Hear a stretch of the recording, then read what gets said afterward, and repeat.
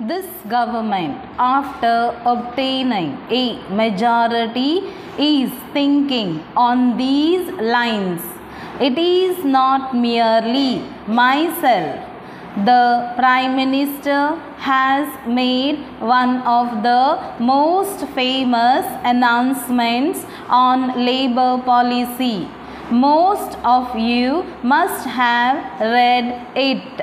I approve of it not because for the time being I am serving under her.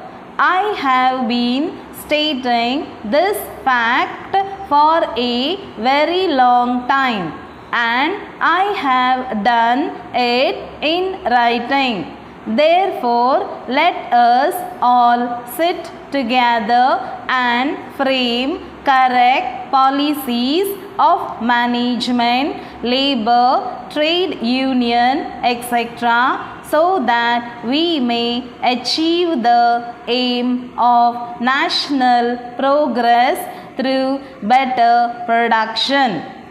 The honorable member made a great point that our railway administration is not following modern methods of management.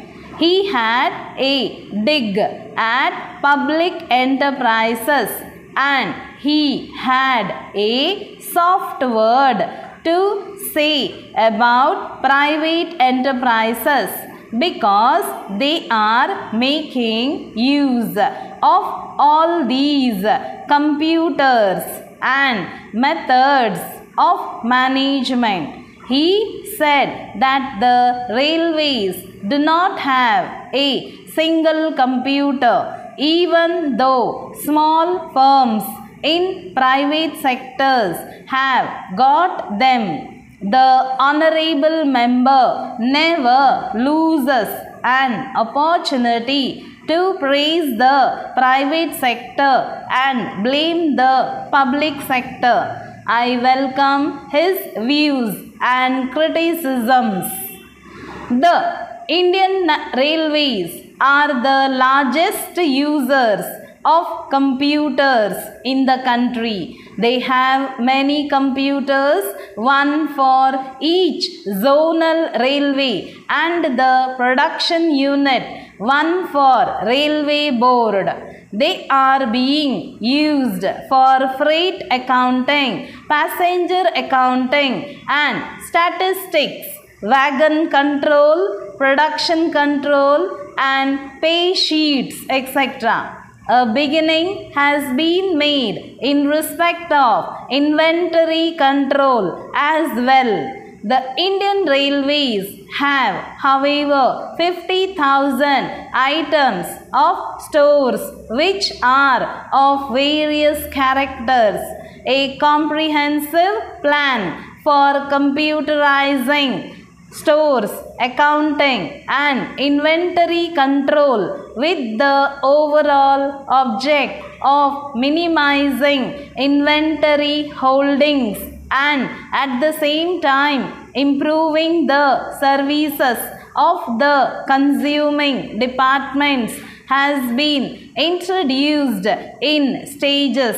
The first phase of the scheme has been completed in all the railways and production units and inventory ledgers are also now on the computer.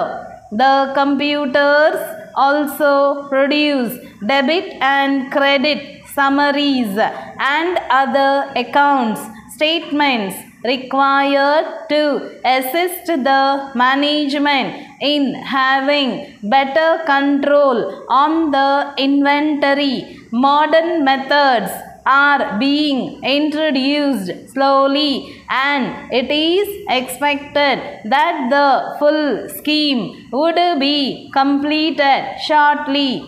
In spite of the increasing price levels, the inventory has been maintained at more or less the same level.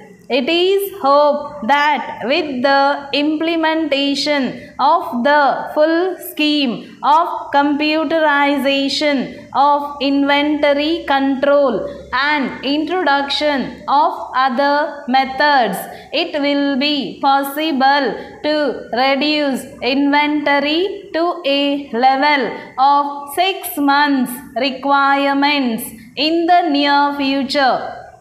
Recognizing the value of modern management methods works study organizations were created the works study cells of railways study the various problems given to them so as to suggest methods to improve the working these studies are proving useful. A large number of officers and staff have been given advanced training in almost all fields of railway working. Besides, it is the regular feature of our training also the curriculum of the Railway Staff College also includes the subject of management science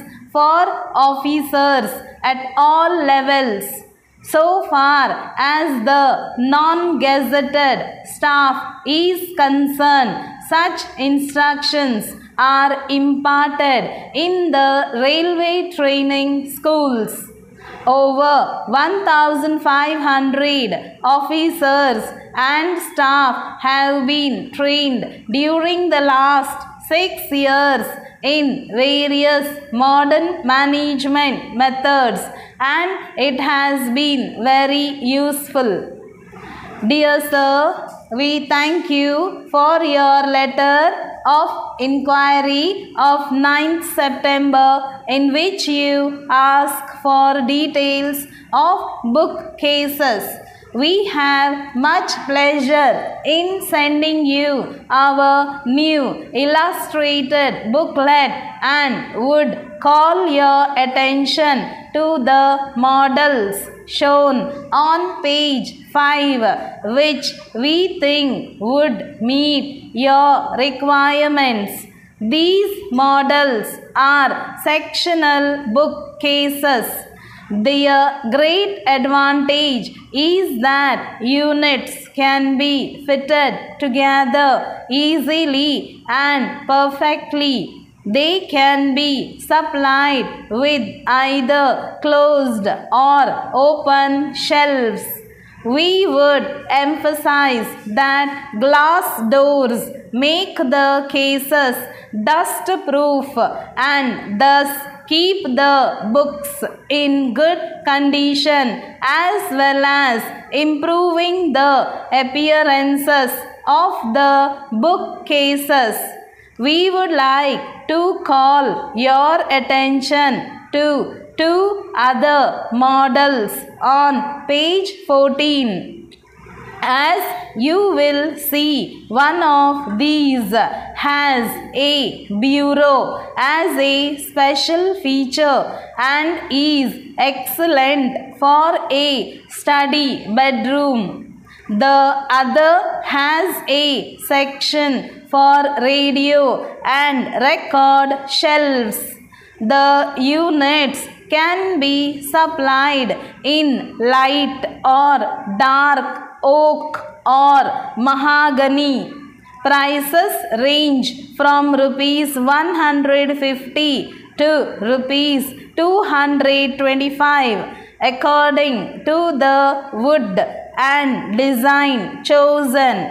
All the models described in the booklet can be seen at your convenience in our new rooms in South Delhi.